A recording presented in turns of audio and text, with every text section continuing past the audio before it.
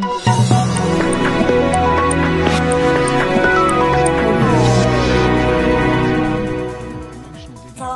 warahmatullahi wabarakatuh. Selamat siang, selamat berjumpa kembali Dengan saya Ika Indriana dalam acara Lintas Petang Untirta TV Bersama Untirta berbagi berita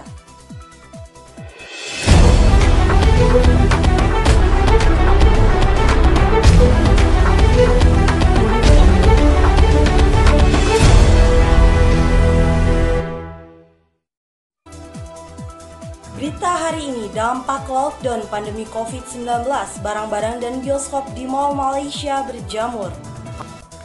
Sama halnya dengan Indonesia, sistem lockdown atau movement control order di Malaysia juga sudah dilakukan sejak Maret kemarin. Aturan ini dilakukan demi mengurangi penyebaran virus corona atau COVID-19. Kebijakan inilah yang akhirnya membuat semua republik seperti mall atau pertokoan terpaksa harus ditutup untuk sementara waktu. Tidak adanya aktivitas di area publik tersebut membuat salah satu netizen bernama Nekneza membagikan potret kondisi barang yang telah ditinggalkan di departemen store selama lockdown diterapkan.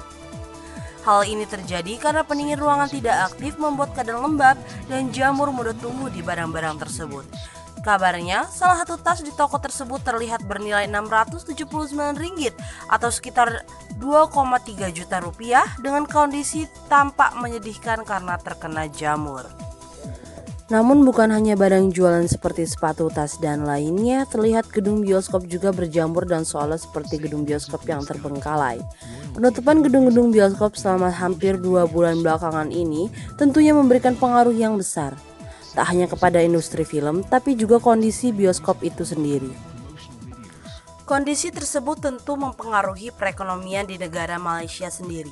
Pemerintahan Malaysia memperkirakan kerugian ekonomi yang diderita akibat lockdown mencapai 2,4 miliar ringgit atau 8,5 triliun rupiah setiap harinya akibat tutupnya aktivitas bisnis. Baiklah pemirsa, terima kasih telah menyaksikan Lintas Petang Untirta TV siang hari ini. Semoga berita siang ini bisa memberikan manfaat lebih untuk Anda. Saya Ika Indriana undur diri. Wabillahi taufiq wal hidayah. Wassalamualaikum warahmatullahi wabarakatuh.